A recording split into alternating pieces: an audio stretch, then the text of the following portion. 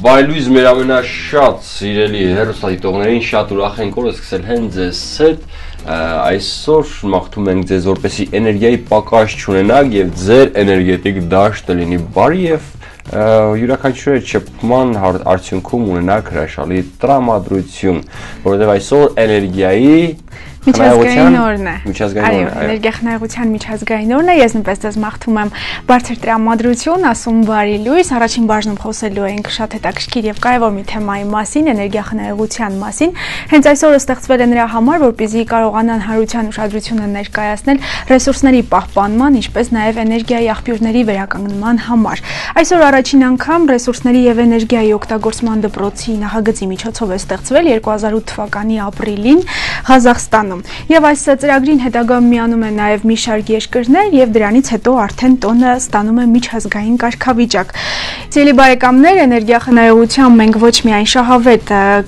կտնտեսենք, այլ նաև շրջակա միջավայրը կպահպանենք աղտոտումից։ Իսկ այսօրվա դրությամբ Հայաստանը եւ մի շարք երկրներ ունեն բավականին նորմալ էներգա մատակարարում եւ մեզանից էլ գնում է որպեսզի էներգիայի ռեսուրսները կարողանանք շահավետ օգտագործենք, ինչպես նաև խնայենք, որպեսզի եւ ռեսուրսները չպակ պակասեն եւ նաեւ պահպանենք շրջակա միջավայրը աղտոտումից։ Ինչ կասես Էդգար։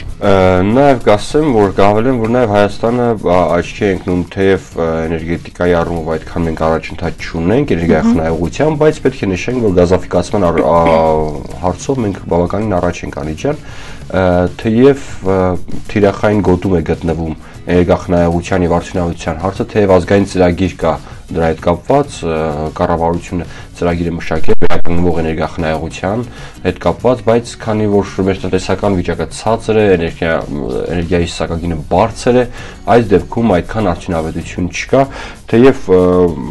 փորձում են այլընտրանքային տարբերակներ օգտագործել էներգիայի, ինչպես արևայինն է, հողմայինը, գեոտերմալն է, ջրածնային, ինչպես նաև փոքր հեկերի եւ էներգիայի եւ բիոգազի հետ կապված։ Ամեն դեպքում հուսանք, որ այս հարցում առաջընթաց կունենանք առանց այն էլ շատ խնդիրներ կան չլուծված, գոնե այս առումով մակարդակը բավականին բարձր է եւ դրա համար էներգիախնայողությունը չի լինում, որպեսզի կարողանանք պահպանենք, հա, այսպես ասենք։ Սիրելի բարեկամներ, մենք էլ գնանք մի հետաքրքիր տեսահոլովակ դիտենք, կարճատև դաթարից հետո նորից կվերադառնանք տաղավար։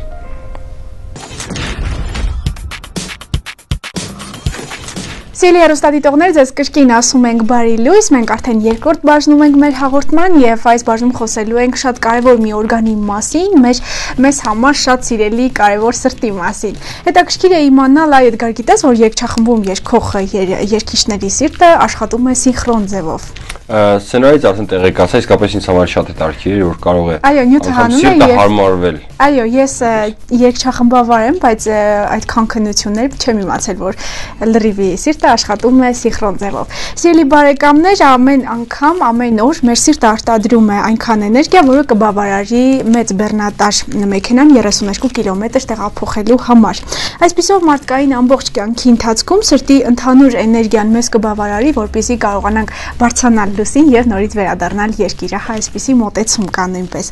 Սիրտն արյուն է հասցնում մեր օրգանիզմի գրեթե 75 տրիլիոն բջիջներին, նա կարողանում է այդքան գործողությունը կատարել։ Միայն աչքի եղջերաթաղանթն է, որը որ արյան մատակարարում չի պահանջում, մնացածին սիրտը հասցնում է արյուն մատակարարել։ Եվ եթե հնարավոր լինի այսպես հանրագումարի բերել միջին տևողությունը կյանքի ընթացքում, ապա կարող ենք իմանալ, որ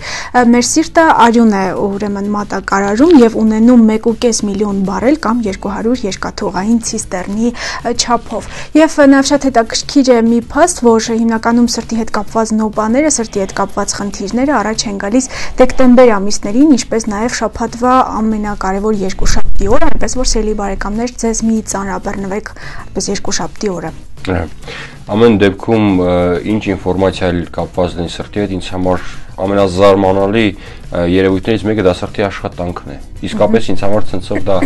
երևույթ է, չեմ կարողանում հասկանալ ինչպես է դիեզերքի անսահմանությունը, այնպես էլ սրտի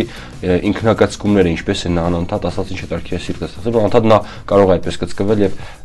արյուն մատակարարել օրգանիզմին։ Այս օրերին մենք շատ մեզ համար շատ հասարակ եւ པարզ միջոց է կաթետրով արյուն ընդունել, այո, սիստեմա կոչվածի միջոցով, բայց առաջին անգամ այդ փորձը արել է գերմանացի վիրաբույժ Վերներ Ֆորսման 1929 թվականին եւ նա ուսումնասիրելով սրտի այդ կծկումները նա կարողացավ հենց երակներից միացում տալ այսպես ասած խողովակներով եւ ինչ որ հեղուկ դեղ ներարկել եւ սա կարելի ասել առաջին հենց կաթետավորման գործողություններ նա սրտի կաթետավորման առաջին դեպքեր հետագայում դարձավ սովորական բժշկական գործողության մեջ 1967 թվականի դեկտեմբերի 3-ին հարավաֆրիկացի բժիշկ Քրիստիան Բարնարդը փոխպատվաստեց Լուիս Վարշանսկու Վաշանսկու սիրտը չնայած Իվան Թամեն ապրեց 18 օր, բայց դա առաջին հաջող փորձն էր սրտի պատվաստման։ Կնոջ սիրտը սովորաբար ասում են բաբախում է շատ ավելի արագ, նաև մետարկիր բան, թեև այս մասին ելի խոսացել ենք մեր եթերների ընթացքում, որ սրտի աշխատանքի համար ծիծաղը շատ կարևոր է։ Նա շրջանառությունը ավելի ակտիվացնում է արյան եւ նաև կարծես երակների անունները մի քիչ ավելի բարակում են եւ այդպես գուցե ավելի հանգստացնում է կոտրված սրտի լիգական կերպարն իր մեջ որոշակի գիտական հիմնավորում նույնպես ունի, որ ասում են սիրտը կոտրվել է, ինչ է պատահել, իրականում ստրեսի ժամանակ արտադրվում են հորմոններ, որոնք կարող են ինֆարկտի պատճառ դառնալ սրտի համար։ Եվ ինչպես նշեցի, երջախմում երկող երկիշներ, երկչույներ սրտերը աշխատում են սինխրոն, սա նույնպես իսկապես շատ դարքի ինֆորմացիա է։ Այո, այսքան զիելի բարեկամներ մեր երկրորդ բաժնի համար ուզով ենք ձեզ մոտոցեցինք հետաքրքիր մի նյութ երկրորդ բաժնում իսկ հիմա տեսնենք ինչ հետաքրքիր վարսահարդարման տեսակներ են տեսակներ են ձեզ առաջարկում, որից հետո նորից կվերադառնանք տաղավար։ Սիրելի հեռուստադիտողներ, մենք արդեն տաղավարում ենք եւ այժմ ուզում ենք խոսել մի քիչ համացանցային վիրուսներից։ Այսօրը համարվում է այդ տեսակ վիրուսների ծննդյան օրը այսօր համացանցը մեզ լայն հնարավորություն է ընձեռնում հաղորդակցվելու, թեև այն չի կարելի համեմատել ռեալ մարդկային շփումների հետ։ Ամեն դեպքում այսօր շատ է օգտվում են հենց դրանից, բայց մյուս կողմից նաև այդ համացանցային վիրուսը կարող է մեզ վնաս հասցնել, այն կարող է գողանալ մեր գաղտնի ինչ որ պահված նյութ, այն կարող է վնասել մեր համակարգիչը եւ 1983 թվականին մի ուսանող Կալիֆոռնիայի համալսարանից Ֆրեդ Քոհենը որոշում է մի այնպիսի ծրագիր ստեղծել, որը կարող է շատ արագ տարածվել եւ նա այդ իր ծրագիրը ներկայացնում է իր ղեկավարին եւ դա համարվում է վիրուսի ծննդյան օրը առաջին համակարգչային վիրուսը կոչվում էր VAX 11750 ղեկավարում էր Unix օպերացիոն համակարգով աշխատանքի ղեկավարն էր Լեոնարդ Էլմանը նա հայտնել իր ստեղծած կրիպտո համակարգով որն օգտագործվում էր թվային ստորագրությունների կոդավորման համար։ Իրականում առաջին համակարգչային վիրուսի գաղափարն արտահայտվել է շատ ավելի վաղ ամերիկացի գիտնական Ջոն ֆոն Նեյմանի 1949 թվականին լույս տեսած բարդ մեքենաների տեսությունն ու կարգավորումը հոդվածում, որում նա դիտարկում էր բազմանալու ունակ ծրագրի ստեղծման հնարավորությունը։ Այո, իսկ 1970 թվականին լույս է տեսնում Թոմ Բրաների հարվածային ալիքի վրա վեպը, որում ընդգրկված է բոլոր վիրուսների մասին, այսպես վիրուսակի ռոբոտների մասին թեմաները։ Իսկ հենց վիրուսը իրենից ծագել է եւ դուրս է եկել այսպես կենսաբանորեն, քանի որ այս ցուրտ սեզոններին վիրուսի ներգործումը մեր օրգանիզմի վրա եւ հիվանդությունը ճիշտ եւ ճիշտ համապատասխանում է մեր համակարգիչների վրա այսպես վիրուսակիր ծրագրերի ներխուժումից։ Եվ կարող ենք ասել, որ վիրուս վիրուսները մի փոքր այսպես անդրադառնամ վիրուսների տեսակներին, մի տեսակ կա, որը կոչվում է բացվում է մեր համակարգիչների վրա այսպես պատուհանիկների ձևով կամ վահանների ձևով, դրանք շատ քայքայում են համակարգիչը եւ եթե սխալմամբ այսպես միացնենք դրանք, ապա համակարգիչը կսկսի այսպես ասած հիվանդանալ։ Եվ մի տեսակ նույնպես կա backdoor-ը, backdoor-ը մի այնպիսի ծրագիր է, որը շրջանցում է մեր հակապաշտպանիչ ծրագիրը համակարգչի մեջ եւ խուսափելով շրջանցելով այդ հակապաշտպանիչ ծրագիրը նա նույնպես ներխուժում է համակարգչի մեջ եւ թաքնված պաշտպանված այսպես ծրագրերը ոչնչացնում է։ Եվ իհարկե նաև պետք է փաստել անի ջան, որ շատ վիրուսներ հենց ստեղծում են հակավիրուսային ծրագրերի ղեկավարների, ստեղծողների կողմից, ինչպես կյանքում շատ հենց կարելի ասել վիրուսներ տարածում են դեղագործների կողմից, այսպես ասած, իհարկե խոշոր կամպանիաների կողմից, նրանք որպեսի դե, իրացնեն իրենց դեղը, նրանք ստեղծում են մի վիրուս եւ հա, արագ վաճառում են նաեւ իրենց հակավիրուսային այսպես ասած դեղերը։ Հենց նույնն էլ համացանցում կարծում եմ վիրտուալ աշխարհում մարդիկ կան շատ հաճախ հենց իրենց հակավիրուսային ծրագրերը իրացնելու համար ստեղծում են մի վիրուս եւ ասում են այ այս վիրուսը կարող է պաշտպանել մեր հենց հակավիրուսային ծրագիրը եւ նաեւ սա կարելի ասել մեծ բիզնեսի արդյունք է։ Դե չէ ինչ-որ մեկը ինչու պետք է լսի անպայման ինչ-որ վնաս տալու։ Այո, կարող է նաեւ այդպեսի բան լինել, բայց հիմնականում այստեղ մեծ գումարների հետ կապված խնդիրներ։ Այդ նույնն է, չէ՞ որ ստեղծում են դեղերը, թույն ստեղծում են թույն եւ հակաթույնը։ Այո։ Ահա, այսպես ելի բարեկամներ, մենք էլ կարճատև դաթար ժաննենք հյուրընկալի։ Այս իրավիճակում մեր հակաթույնը անինը տեսնենք քանի կարող է։ Տեսնենք ինչ է մեզ առաջարկում, որից հետո նորից կգանք տաղավար։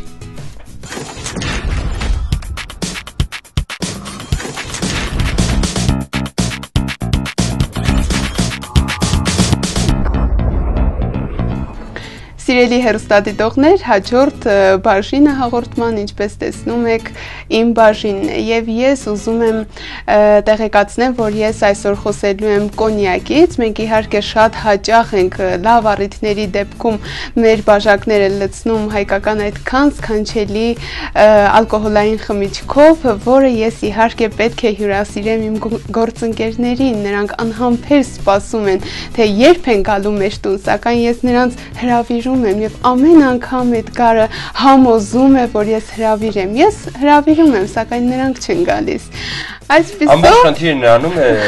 Գայանե ջան, որ դու եթերում իցույց բոլորի հրավիրում ես, բայց անձամբ տենց կոնկրետ մենք ոչ օր գիտենք, ոչ շամ գիտենք։ Հիմա կարող ես օր եւ ժամ ասել եւ այդ ժամանակ։ Ես ամեն օր ասում եմ ձեզ, սակայն դուք ասում եք շաբաթվա 7 օրը հարմար չի, այն 8-րդ օրը մենք անպայման կգանք ձեր տուն։ Եվ ես հուսամ հիշեցնենք, որ մեզ միացել է մեր գործընկերուհի Գայանեն եւ Ինչից ենք խոսելու գանը վերջապես։ Այսօր իհարկե վերջապես ես ասացի որ կոնյակ հյուրասիրվենք, երբ որ գանք։ Չգիտեմ, այդ օրը արդեն չգիտեմ ես կլինի թե չէ, բայց ամեն դեպքում երբ ենք պատերազմի դեպքում խոստումներ տանք եւ հուսամ դուք ինչ որ այսքան շատ ճաշատեսակները ես ձեզ խոստացել եմ, հուսամ կոնյակն էլ դուք կբերեք։ Այդքանը երևի թե ալկոհոլային խմիչքը դուք կբերեք, մնացածը իմ կողմից։ Խոստանում ենք։ Դե ուրեմն կհամենակ մի օր մեր տուն։ Մի օր, հուսանք այդ մի օրը իրականություն կդառնա եւ դա չի մնա վիրտուալ այսպես անդադ օդում։ Այո, այդ շրջանակներում, իհարկե։ Այո։ Եվ կոնյակի մասին այսօր ինչ է դարձի ինֆորմացիա։ Կարծում եմ ոչ միայն մեր տանը խմելու այդ առիթը կլինի, այլ նաև հետաքրքիր կլինի իմանալ թե ինչպես է հատկապես ստեղծվում կոնյակը։ Կոնյակը համարվում է թունդ ալկոհոլային խմիչք։ Այդ խմիչքը ստացվում է գինու, խաղողի գինու թորված եւ արդեն կաղնու տակառներում հնացված տարիների հնեցում ապրած, այսպես ասած, սպիրտից այն անցնում է 3 գործընթաց։ Գործընթացներից առաջինը կոչվում է գլխամասային, այնուհետև միջին մասը եւ պոչային։ Գլխամասային եւ պոչային այդ մասնաբաժինները մասնաբաժինների ժամանակ թորում են խաղողից ստացված քինին, սակայն այն հիմնականում օգտագործում են բուրումնավետ ինչ որ խմիչքներ եւ հատկապես տեխնիկական սպիրտ ստանալու նկատառումներ ներով, քանի որ այն իր մեջ պարունակում է Ոչ, նրանք իրենց մեջ պարունակում են տարբեր խառնուրդներ, բուրումնավետ, որոնք էականորեն գծում են կոնյակի որակը։ Իսկ քանի որ մենք գիտենք, որ հայկական եւ ֆրանսիական կոնյակներն են հատկապես համարվում ամենալավը աշխարհում, դրա համար որպեսզի չընկնի այդ համային հատկանիշները եւ կոնյակը չկորցնի իր որակը, դրա համար օգտագործում են միջին մասը, միջին բաղադրամասը, իսկ թորման ընթացքում երկրորդ երրորդ հիմնական այդ միջնամասային բաղադրիչը օգտագործվում է հիմնական հումքը ստանալիս, կոնյակի հիմնական հումքը ստանալիս։ Դերևս անցյալում Չերչիլը, Ուինստոն Չերչիլը ասել է, որ խնդրում եմ ինձ համար անընդհատ բարբերաբար ուղարկեք հայկական կոնյակ Հայաստանից տարբեր չափաբաժնով, տարբեր քանակներով։ Եվ այդ ամենը նա իհարկե օգտագործել է բարբերաբար, խմել է եւ հիացել է հայկական արտադրանքով եւ անգամ ասել է, որ պետք է մարդիկ ճուշանան ճաշկերույթներից եւ ծխեն հավա հավայան սիգարներ, խմեն հայկական կոնյակ։ Դերևս Չերչիլն է իհարկե գնահատել մեր հայկական արտադրանքը։ Ասեմ Իհարկե նաև խորհրդային իշխանությունն է շատ հավանել Իհարկե, եւ հիմա հիմա նույնպես, եթե դուք իհարկե Ռուսաստանում տեսնեք, որ այն ժամանակ այստեղից եթե ինչ-որ լուրջ հարցեր լուծելուց եղել, կոնյակ են տալ, որպես կարող են հարցեր լուծել։ Այո, հիմա օրինակ շատ է հանդիպում, ես հանդիպել եմ հայկական կոնյակներին, հատկապես ռուսական տարածքում հանդիպել եմ շատ են վաճառում հայկական կոնյակ։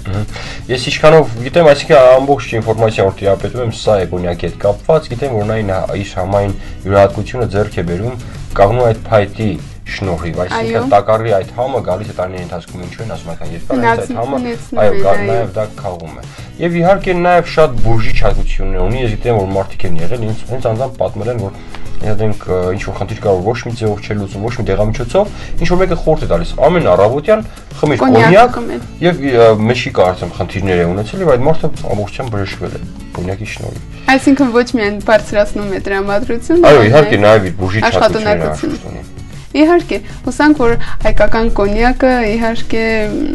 մեզ բոլորիս դրամատրությունը կբարձրացնի, հատկապես երբ որ դուք գաք մեր տնտուր։ Այո։ Այո։ Գանեն իհարկե անցել է պաշտպանության, ասում են լավագույն հարցակումը դա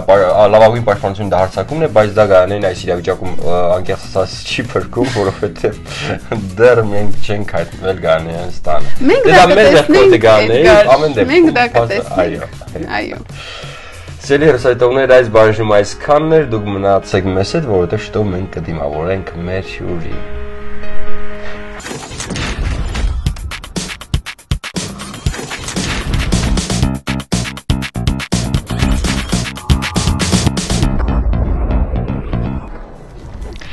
Սիրելի հերոստատիտողներ, մենք հյուրընկալել ենք Խորովել երկի բարի անսամբլի բարոհի Ասիա Կոստանյանին։ Բարի լույս Ասիա։ Բարի լույս։ Բարի լույս։ Տրամադրությունը արդեն շատ բարձր։ Հրաշալի է։ Մի փոքր պատմին ինչպես է սկսում առավոտները։ Այսպես ուրեմն այսօր առավոտյան արթնացա, զգացի, որ մի, մի փոքր վատ առողջ եմ, սակայն ձեր զանգը լսելուց հետո շատ ուրախ ժամանեցի այստեղ։ Այսինքն կարող է մի փոքրիկ զանգը տրամադրության ազդեցություն ունենալ։ Իսկ սովորաբար կարող են նաև բացաբար բացական նորությունների առումով նույն ազդեցությունը թողնել։ Արագ է ընկճվում։ Շատ արագ։ Հա։ Շատ Սևակը պետք է որ այդ բոլոր հարցերից գլուխ կարողանա, արդեն գիտի այդ մասին։ Արդեն գիտի։ Հաշալի։ Ինչպես սկսվեց հետաքրությունը բարի նկատմամբ, երբ սկսվեց առաջին բարը։ Ուրեմն մանկուց սկսեմ մանկուց։ Մանկուց սիրել եմ շատ բարել եւ այդպես հերոսացիով ցույց տվեցին, որ հորովել անսամբլը բացում է նոր պարային ստուդիա։ Այդպես մայրիկս որոշեց, որ ես պետք է գնամ այդտեղ։ Գնացինք կոնկուրսեր շատ մեծ եւ շատ երեխաներից մնացին շատ քչերը, ես այդ թվում կայ երկար տարիների ընթացքում մենք անցանք շատ դարանակիր աշխատանքի միջով եւ վերջապես ես հայտնվեցի հորովելում Ես կարծես թե հիշում եմ այդ տարիներին մենք նույն տեղում էինք, չէ՞, սովորում այսիա։ Ինչեւ որովել ընդունվել է։ Այ այսիա, իսկ ընտանիքի անդամներից կա ինչ որ մեկը, որից որ ժառանգել է սպարը։ Ընտանիքի անդամներում չկան արվեստի մեջ գտնվող մարդիկ, բայց նրանք շատ ճիշտ կարողանում են գնահատել արվեստը, միշտ կանգնած են եղել իմ կողքին, շատ լավ է, որ դեմ չեն լինում ընտանիքի անդամ։ Այ այսյան նաև ունի ընտանիք, ցելի բարեկամներ արդեն եւ ամուսնուց հետ կապված, հա, արվեստագետ է, դեմ է, կողմ է, մի փոքր պատմիչ նաև։ Միանշանակ կողմ է եւ շատ հարցերում ես ինքս խուսափում եմ առաջ գնալ, նա ինքը ինձ հրելով տանում է առաջ եւ ինչպես այսօր։ Շատ հրաշալի է։ Իսկ Երևան տեղափոխվելու ցանկություն դեռևս չկա, չգիտենք ինչպես կլինի ցանկություն դեռևս չկա, դեռևս այստեղ ենք փորձում առաջ գնալ։ Շարի հատկապես ես շատ ուրախ եմ Սևակի համար, ասում շատերը օրինակ փորձում են փախչել, հա, Վանաձորից, Վանաձորի կամ գյուղից գալիս են քաղաքներ, շատ իսկապես ինձ համար խրախուսելի օրինակ է, որ Սևակը լինելով Երևանցի ստեղծագործում է, նա շատ թանկ անձնավորություն է, նաև կարծում վանաձորցիների համար շատ սիրված անձնավորություն է։ Մի քիչ խոսենք խոչընդոտներից։ Ինչն է կայանում բարի մեջ խոչընդոտը, որն է դժվարությունը ասենց պատմում ձեզ մի փոքր պատմություն, ուրեմն ես երբ արդեն տեղափոխվեցի ստուդիայի արդեն վերջին դասարանը, այնտեղ ավելի մեծ երեխաներ էին սովորում, այնտեղ ես ամենաբոյովն էի ու ինձ կանգնացրեցին շարքի առաջ։ Հենց սկզբից ու այնտեղ նեղվեցին երեխաները, որ ես շարքի առաջնում, ու մի քանի շարժում, որ չկարողացա անել, ինձ տարա վերջ։ Այո։ Բայց դից վերջից հերթով էլի գալով հասանք առաջ։ Իհարկե, արվեստը այնպեսի բնակավար է, որ միշտ այդպեսի դժվարություններ լինում են եւ նման դեպքերում ինչ ապրումներ եւ ինչ պայքարի միջոց է սա այդ դեպքում ընտրում։ Առաջինը պետք է չընկճվես, քանի որ նման բաներ շատ են լինում, իրոք շատ են լինում չընկճվես եւ աշխատես ինքդ քո համար, ցույց տալու համար, չէ, ինքդ քո համար, որ դու անես, գնաս առաջ։ Այո։ Այդպես։ Բարի ասպարեզում ունենք երազանքներ, բեմ կամ մի դպրոց, որ կցանկանայի սովորել այսպես ունեի երազանք շատ վաղուց աշխատել Պարավեստի դպրոցում եւ հասա իմ նպատակին, որ ես աշխատում եմ Պարավեստի դպրոցում երեխաների հետ լուրջ եւ աշխատում եմ նաեւ հորովել երկիպարի ստուդիայում դա մեծ երազանք է եղել ինձ համար եւ վերջապես եկավ այդ օրը եւ ես կանգնած երեխաների դիմաց դասավանդում եմ նրան։ Քանի տարեկանից սկսած ունես աշակերտներ ասյա։ 5-6 տարեկանից մինչեւ 10 11 տարեկան։ Եվ վերջապես ինչ է տալիս քեզ արվեստը կյանքում։ Այ արվեստը այսպես ուրեմն շատ դժվար է շփվել արվեստից զատ մարդկանց հետ արվեստը տալիս է այն, որ ես Դժվար հասկացողություն է իրենց կողմից ըմբռնում, այո։ Այո, շատ։ Ես տալիս է այն, որ ես արդեն մենք բոլորս, ինձ թվում է դուք էլ նկատած կնեք, որ չենք կարողանում շփվել ուրիշ, այսինքն բանկերների, չգիտեմ, այնպես բժիշկների մենք հետ չենք կարող կարողանում շփվել, քանի որ մեր մտածելակերպը, մեր ուղղությունը լրիվ ուրիշ է եւ Միշտ նրանց կողմից ընկալվում են որպես տարօրինակ աշխատանք։ Տալիս է տարօրինակություն արվեստում։ Այդպես։ Հետաքրքիր է մանուկների աշխատանքը ինչ է տալիս։ Այ մանուկների հետ շատ հետաքրքիր է։ Ես հոգնած գնում եմ իրենց դեմը կանգնում եմ, նայելով իրենց ժպիտներին, ոնց ես էլ ուղղակի այդ բանը չես պատկերացնում ինչ է քո հետ կատարվում, մտնում ես իրենց աշխատանքի մեջ եւ տարվում։ Պարարվեստը իհարկե պարարվեստի մեջ որոշ տարրեր են, դրանք մնջախաղը, այլ ինչ որ բաներ որոշակի տանում են դեպի թատերական արվեստ եւ նաեւ թատերայնություն է պահանջում։ Գայթակղություն չկա երբեմն հենց հանդես գալ որպես դերասանուհի։ Շատ կա, ուղղակի սևակը։ Այդ դեպքում խոչընդոտ է, հա։ Այո, ինձ միշտ համոզում է, որ ես խոսել չգիտեմ։ Իմ ձայնը չի համապատասխանում որպես դերասանուհի։ Կարծում եմ Սևակ այս հաղորդումը դիտելու կարիք ունի։ Ես նույնպես ունեմ ասել։ Հարգելի Սևակ, դու դու այս աղջիկը փորձի նայ այդ ասպարեզում։ Կարծում եմ հրաշալի կլինի։ Ասիա ջան, հետագա ինչ պլաններ, ծրագրեր? Հետագա ծրագրերը մենք աշխատում ենք չծրագրավորել մեր կյանքը։ Հիմա սովորում եմ նաև Թատերական ինստիտուտում եւ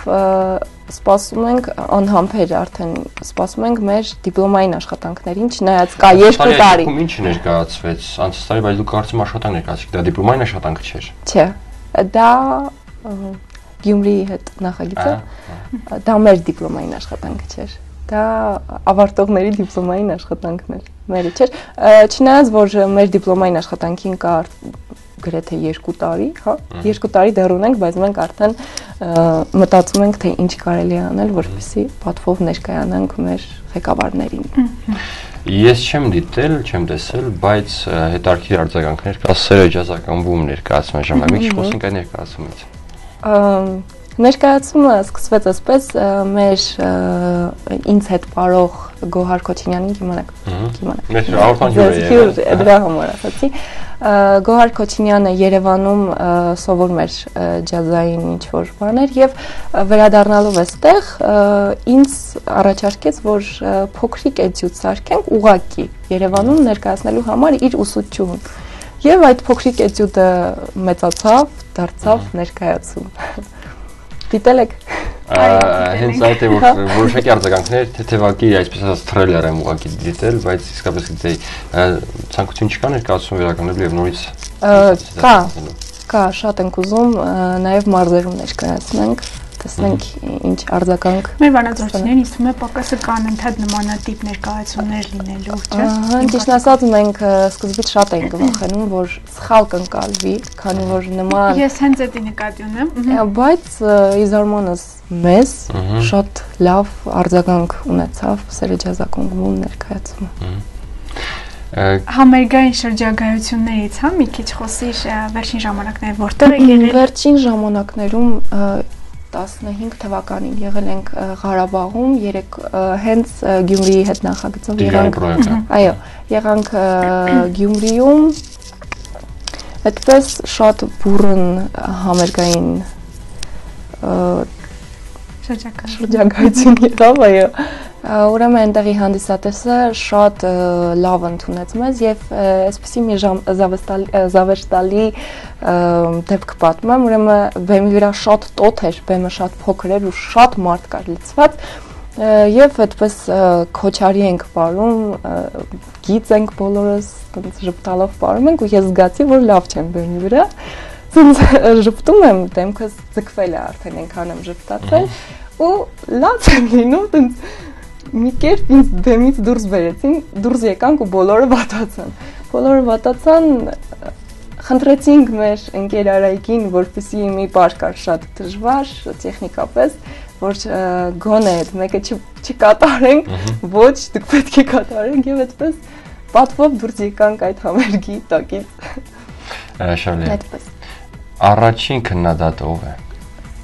Սևակը։ Սևակը խիստ քննադատ է։ Շատ։ Երբեք ոչ մի բան չի հավանում ինքը երբեք։ Ավելի ճիշտ ասենք, որ առաջին քննադատությունը դու ընդունում ես ամուսնանդ, հա, երևի ճիշտ հա։ կլինի հա։ Հենց այդպես։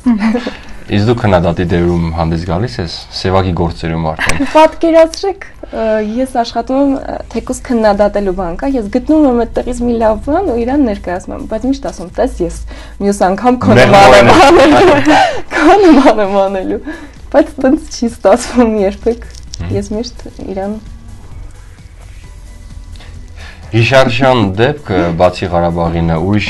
դեպքեր կան որ կարող ես առանձնացնել քո գործունեության ընթացքում։ Մենք եթե չեմ սխալվում 13 թվականներ, թե 12 եղանք Պարսկաստանում։ Եվ այնտեղ մենք շատ տարբեր ենք աշխարհը շատ տարբեր է Պարսկաստանից, Թեհրանից, մեզ այնտեղ ստիպում էին որպեսի կրենք այդ շալերը, բոլորս կրելով ենք դուր գալի եւ շատ վախենում ենք այնտեղի մարդկանցից, քանի որ մեզ ասում էին, եթե այստեղը մի փոքր բաց եղավ, շատ կներեք իհարկե, բայց ձեզ վրա կթքեն։ Հա, այդպեսի դաժան։ Մենք հա, բոլորը շատ վախեցած դուրս էին գալիս վախեցած նայում ենք, որ մեր վրա հանկարծ չթքեն։ Այդպես հետարքիր է եւ ինչ է կարող է ուրախություն պատճառել գործի մեջ ինչ է կարող խթան հանդիսանալ ավելի ոգեորվել ուրեմն քանի որ մեր ղեկավարությունը մեր բալետմաստերը ինքը շատ խիստ է աշխատանքի մեջ եւ լինում է այնպես որ մեր արժեվ դրված է մի խնդիր, որը մենք կատարում ենք եւ բոլորս տեսնում ենք որ մենք դա լավ կատարեցինք, սակայն շատ ենք ուզում որ լսենք որ ինքը ասի այո լավ էր բայց երբեք հենց լսում ենք շատ ենք ուրախանում բայց միշտ ինքը թերագնահատում է որպեսզի մենք կարողանանք ավելի առաջ առաջ առաջ գնանք Իդեպ ասեմ որ դա բոլոր բնակավարներում է այդպես եւ դա իհարկե նաեւ հրաշալի կողմեր ունի որպեսզի դու միշտ քեզ ինքնա քննադատությամբ զբաղվես եւ ավելի կատարելագործվես ինչ երազանքներ ունենք ընդհանրապես երազանքներ ես բավականին երազկոտ եմ եւ մտածում եմ որ եթե խոսում ես երազանքներիդ մասին նրանք չեն կատարվում Ահա, այսինքն այս դեպքում փորձում ենք խուսափել երազանքների մտածելուց։ Իսկ նպատակների իրագործման համար ինչեր ենք պատրաստ գնալու։ Ամեն ինչի։ Ամեն ինչի, այո։ Հաճախ արվեստի մեջ այնպես է որ բարձրանում ես, վերև բարձրանում ես եւ հետև պետք է չնայես, հետ պետք է չնայես, քանի որ երբ որ դու մի փոքր լավն ես լինում եւ աշխատում ես բարձրանալ, հետևում մնում են շատ մարդիկ քեզ հարազատ։ Դրա համար պետք է հետ չնայես, սակայն դա շատ դժվար է։ Երբևէ չէ եղել է, երբ որ հանդիսատեսը իր գնահատանքի խոսքերն է ասում հենց փողոցում։ Շատ։ Պատահել է։ Շատ է լինում։ Հիշում եք ամենատպավորված կոմպլիմենտ հաջողությունով լսել եք։ Այսպես չեմ կարող հիշել, բայց շատ է լինում անգամ մեր ընկերներից, որ նստած են լինում դահլիճի, դահլիճում մատով ցույց են տալիս, որ այ այն մեկ, այ այն տղան, այ այն աղջիկը ավելի գեղեցիկ է բարում, ոչ թե գեղեցիկ է։ Սևակը հուսանք այս բանը չի լսի, մի քիչ խանդի պահա ոնց է։ Դե բնակավար արդեն աշխատանքի հիմնական իմացանք որ չկա, բայց խանդի հենց անձնական շփումներ, ազատություն Քանի որ դուք չեք տեսել սերը ջազ ակումբում ներկայացում, կհասկանաք որ խանդի առումով մենք փորձում ենք մեզ կառավարել։ Ես էլ կարող եմ խանդել, ինքն էլ կարող է խանդել, բայց դա չի փչացնում մեր տրամադրությունը ու այդ ինձ ամենակարևոր եւ այդ նույն հարցը կարող եմ ես քեզ տալ այդ կանգառում ես ես իսկ այն մասին հաջորդ ասին այո Այսա ջան եթե խոսք ունես հղելու մեր հերոսատողներին խնդրեմ կարող ես ուրեմն այսպես մենք միշտ որ մտածում ենք որ պետք է գանք ձեզ մոտ հյուր ես ունեմ երկու շատ սիրելի ընկերներ հարազատներ ես նրանց հարազատներ եմ կոչում մենք շատ էինք ուզում երեքով անպայման գալ ահա եթե իմանամ որ ես այստեղ մենակ եմ շատ վատ կլինի ինձ համար ես ուզում եմ նրանց ողջունել Ուսամ մի օր էլ երեքով կլինենք այստեղ նստած, սիրում եմ ձեզ շատ։ Անշուշտ։ Իսկ մեր վանազորցիներին ինչ կմաղթես։ Վանազորցիներ ջան, Պարեք, պարեք եւ պարեք։ Եվ շատ շփվեք արվեստագետների հետ։ Շատ շփվեք եւ ժպտացեք միմյանց։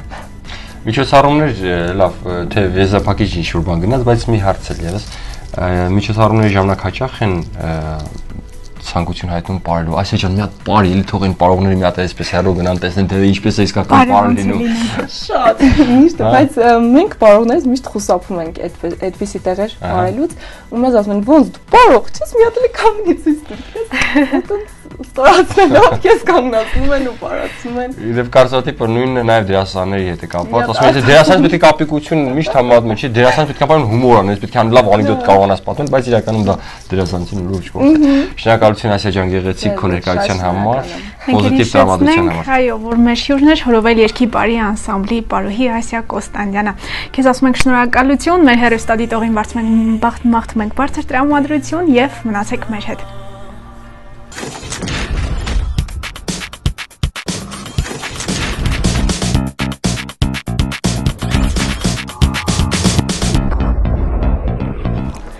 Սիրելի բարեկամներ, ասում ենք բարի լույս բոլոր նրանց, ովքեր հենց նոր միացան մեզ։ Մենք մեր այս բաժնում խոսելու ենք մի շատ հետաքրքիր երկրի մասին։ Հնդկաստանի տոներից մեկի մասին ենք խոսելու։ Նոյեմբերի 11-ը Հնդկաստանում մի շատ հետաքրքիր տոն է։ Դիվալի տոնը, որը խորհրդանշում է խավարի դեմ լույսի տարածման մասին։ Տարբեր տարածաշրջաններում այս տոնը նշում են տարբեր կերպ։ Մի շրջանում սա համընկնում է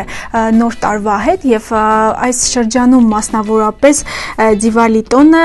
Բենգալիայում նշում են հետևյալ հետեւյալ կերպ մոմեր են վառում եւ տանը մեծ պատրաստություններ են տեսնում նոր իրերով այսպես նոր իրեր են նստում եւ հենց այդ գիշերը նոր տարվա գիշերը բոլոր դռներն ու լուսամուտները այսպես բաց թողնում են որպեսզի աստվածուհին ինչը որ խորհրդանշում է այսպես հարստության աստվածուհին ներս գա իրենց բնակարանները եւ այսպես հարստացնի իսկ հա մեկ այլ տարածաշրջանում նշում են մոմերով նույնպես իրենց աստվածուհու նկարների մոտ 10 օր մոմ են վառում եւ դրա դրանից հետո այդ աստվածուհու նկարները նետում են գետը։ Սա էլ մի ձև է, ինչպես տարօրինակ երկիր է, բայց ունի հետաքրքիր սովորույթները։ Եվ Հնդկաստանը մյուս շրջաններից համեմատաբար ամենամեծ երկիրն է աշխարհում, 7-րդ երկիրն է, բնակչության թվականակով աշխարհում համընկնում է երկրորդը, երկրորդը իսկ իր տարածաշրջանով երրորդն է 1.5 միլիոն բնակչության թվականակով։ Հարավից սահմանակից է Հնդկական օվկիանոսին, հարավարևմուտքում արաբական ծովին է։ Շատ հաճախ առաջ երբ որ տարածված էր հնդկական կինոները, քանի որ այն պարունակում էր շատ հուզականություն, էմոցիաներ, շատերը ցանկանում են լինել Հնդկաստանում։ Եղել ես։ Ցանկացել ցանկացել ես եղել Հնդկաստանում։ Կունենամ, ունեմ լինել Հնդկաստանում, բայց չեմ եղել։ Հետարքիր։ Նույնիսկ ցանկություն կունենամ մասնակցել հնդկական կինոներին։ Հա։ Այո։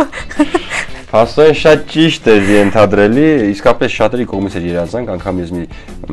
համադասարանցի աղջիկ ունեի, նա մեծ երազանքներ ամեն անգամ ասում էր, ես պետք է անգամ ընդիկ այդ ամուսնանամ, ես գնալու եմ Հայաստան ապօրեն այնտեղ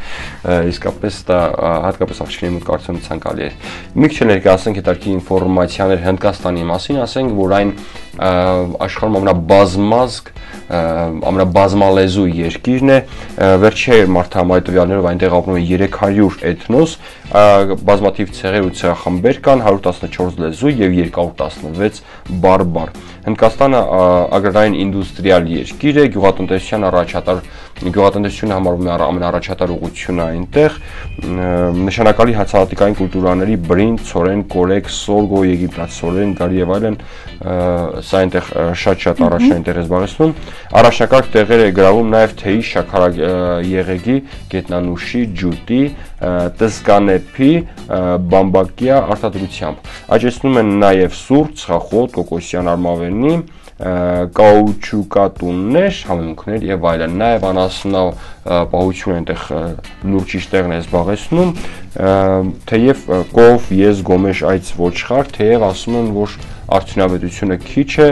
Անի ջան, մի հետարքի ինֆորմացիա եմ լսել, չգիտեմ ինչքանով է ճիշտ, ասում են Հնդկաստանի նահանգներից մեկում այնպիսի բարբար կա, որ շատ-շատ հայերենին համընկնող բառեր կան, շատ-շատ բառեր, 300 քանի բառ կա, որ հենց հայերեն բառերն ու իմաստով եւ արտահայտությամբ արտահայտչականությամբ նույնն են։ Եվ ասում են Գրիգոր Լուսավորչի հալածանքների ժամանակ եղել է մի հայկական գավառ, ով չի ցանկացել կրոնափոխի եւ նա հեռացել է։ Եվ դա հենց ասում են հենց այդ գավառի այդ բնակիչներն են եւ այդտեղ հենց խոսել են հայերեն եւ շատ բաներ կարծես հնդկերենի հետ խառնվելով միևնույն ժամանակ պահպանել է իր տեսակը։ Նաեւ մեր ռեժիսորը հուշում է, որ Շահամի Շամիրյանը շատ մեծ գումար է կտակել, ասում է շատ մեծ գումար է կտակել Հայաստանին եւ ասում է այնքան դա մեծ է, որ բյուջեի մեծ մասշտաբն է դա կազմում եւ մինչեւ հիմա Հնդկաստանը պարտքի Հայաստանին։ Դե իհարկե չգիտեմ ինչքանով կարող է մեր ռեժիսորը նման ինֆորմացիան ճիշտ լինել նրա ասած, բայց ամեն դեպքում ռեժիսորը դան տեսնում ես, ես փոխանցեցի, դու հնարավորություն չունես, բայց ես փոխանցեցի այդ ամենը մեր սելի հերոսատողին, հուսամ քո ասածի մեջ ճշմարտության հատիկ կա։ Այսքան էր այս բաժնում, իսկ այժմ մենք պետք է դիտենք 6 հումորային կադրեր, որից հետո կվերադառնանք։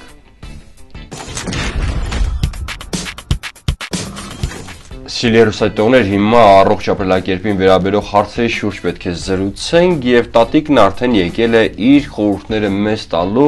եւ նա ասում է բալաջան ցրտերն արդեն ընկել են եւ հիմա պետք է շատ ավելի ճիշտ ծնվել եւ երբ որ ցրտերը ընկնում են մենք մեր մարմինը ավելի շատ էներգիա է կլանում եւ դրա համար մենք սկսում ենք ավելի շատ կալորիաներ պարունակող ուտելիքներ ուտել, բայց դա իրականում պետք է իմանալ, որ շատ ավելի վնաս են, ոչ միայն մեր մարմնակազմության համար, այլ նաև մեր առողջության համար։ Դրա համար մենք ուզում ենք ձեզ ներկայացնել խորհուրդներ եւ պետք է ուտել ավելի շատ B1 տիամին պարունակող մթերքներ, որը շատ օգտակար է մեր օրգանիզմի համար։ Տիամինը չի կուտակում օրգանիզմում, այն անհրաժեշտ է անընդհատ լրացնել։ Դրա պակասությունը մեր օրգանիզմում կարող է ազդել տա մեր տրամադրության վրա եւ ինքնազգացողության վրա։ Տիամինի աղբյուր են վարսակը, հնդկացորենը, գետնանուշը, ցորենը, հատիկաանդեղենը, անտառային ընկուզները, ինչպես նաեւ խոզի, ոչխարի եւ թռչնամսերը։ Նաեւ կարող են օգտագործել B2 ռիբոֆլավին, B2 վիտամինի պակասությունը օրգանիզմում անմիջապես զգացվում է։ Ամբողջ մարմնում սրտի զգացողություն, սառը ոտնաթաթեր, նաև ցավ ձեռքի ափերի, թիկունքի եւ ոտքերի հատվածներում այն կարող է բերել նաև մազաթափության եւ հանգել անեմիայի։ Այո, իսկ հա բետաս վիտամինը նույնպես շատ կարևոր է մանավանդ ցուրտ եղանակների համար։ Դրա պակասից կարող է առաջանալ մաշկի չորություն, ինչպես նաև մազերի չորություն։ Իսկ նման տիպի վիտամիններ պարունակում է հիմնականում մսեղեն, այսպես ասած, եւ նաև մի շարք վիտամիններ, ցիտրուսային վիտամիններ։ Իսկ հա բետա-2 վիտամինը, որն անվանում են նաև ցինակոլբամին։ Բետա-2 վիտամինը պատասխանատու է թթվասնովարյան հատուցման համար եւ նաև բժշկում է անեմիայից։ Բետա-2-ը օրգանիզմում պակասության դեպքում զգացնել է տալիս մարդու հիշողության վրա դեմքի գույնի եւ առաջացնում է ընդհանուր թուլություն։ Նման վիտամիններ պարունակում են խոզի ոչխարի մսեղ, մսեղենները եւ նաեւ հոլանդական պանիրը։ Իսկ հա C վիտամինը ինչ է իրենից ներկայացնում։ Նա ամրապնդում է իմունիտետը օրգանիզմում եւ տալիս է ընդհանուր նյութափոխանակության գործընթացի արագացմանը։ C վիտամին պարունակում է հիմնականում ծիրանի ճիրը, սալորաճիրը, ինչպես նաև չամիչը։ Նաև խոսենք D վիտամինի մասին, հիմնականում սինթեզում է արևի ճառագայթների ազդեցության տակ։ Դրա պակասությունը ազդում է հիմնականում կալցիումի յուրացման վրա, ինչի հետևանքով թուլանում են ոսկորները, եղունգները եւ մազերը։ Խնդիրներ առաջացնում հետագայում նաև մազերի հետ։ Վիտամին D պարունակում են. Պերկեսը, ձուն, լյարդը, կարագը, թթվասերը, կաթը եւ այլն։ Անի ջան, խոսեցիր նաև վիտամին C-ից, պետք է նշեմ, որ հետազոտությունները ողջել են, որ Դավիթ Սահակյանի ինտերֆուտբոլ բոնուսը նույնպես վիտամին C է պարունակում, եւ հիմա լիցքավորվենք վիտամին C-ով, որն առաջարկում է Դավիթ Սահակյանը։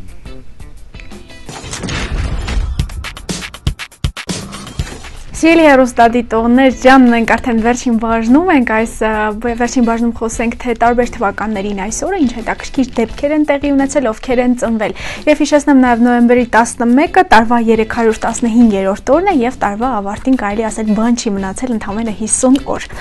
Իսկ ահա 1918 թվականին տեղի ունեցել Կոմպիենի հաշտագիրը, որով որ ավարտվել է առաջին համաշխարհային պատերազմը։ 1942 թվականին հենց այսօր նացիստական Գերմանիան ավարտին հասցրեց Ֆրանսիայի օկուպացիան։ 1983 թվականին համացանցում հայտնվել է առաջին վիրուս նախատիպը։ 1118 թվականին հենց այսօրը ծնվել է Մխիթար Հերացին, Մկրտիչ Ավգերյանը աստվածաբան եւ լեզվաբան այս մարդը ծնվել է 1762 թվականին։ 1923 թվականին Միքայել Տեր Միքայելյան տեսաբան եւ ֆիզիկոս 1933 թվականին Զարե Սահակյանցն է ծնվել ջութակահար եւ դիրիժոր նա հիշեցնեմ որ մահացել է 1986 թվականին 1949 թվականին Սերգեյ Կուրժինյան խորթային եւ ռուսաստանյան քաղաքագետ եւ վերլուծաբան 1962 թվականին ծնվել է Դեմի Մորը, ամերիկացի դերասանուհի, նախկին մոդել։ 74 թվականին Լեոնարդո Դի Կապրիոն։ Եվ անկախության օրն է այսօր Անգոլայում, ինչպես նաև վետերանների օրը Միացյալ Նահանգներում։ Ուզում ենք շնորհավորել բոլոր նրանց, ում ծննդյան օրն է այսօր, կամ գուցե դες համար տարեդարձ է, գուցե ինչ-որ ամուսնության տարեդարձ է, մի հիշարժան օր է դες համար կապ չունի։ Գուցե ինչ-որ կնունքի արարողություն է, ինչ արարողություն որ կա, եթե այսօր դες համար հատկանշական օր է, շնորհավորում ենք։ Եվ եթե չէ թող որ դառնա հատկանշական օր, նաև ուզում ենք շնորհավորել չծնված մանուկներին, որ գուցե հենց այսօր կծնվեն, մայրիկներին շնորհավորենք, թող որ այսօրը դες համար լինի շատ հիշարժան եւ գեղեցիկ օրից մեկը կյանքում։ Մենք էլ ձեզ մաղթում ենք առողջություն, բարձր տրամադրություն եւ ամենայն բարիք։ Այսօր այսքանը կհանդիպենք։ Ցտեսություն։ Ցտեսություն մնաք բարյավ։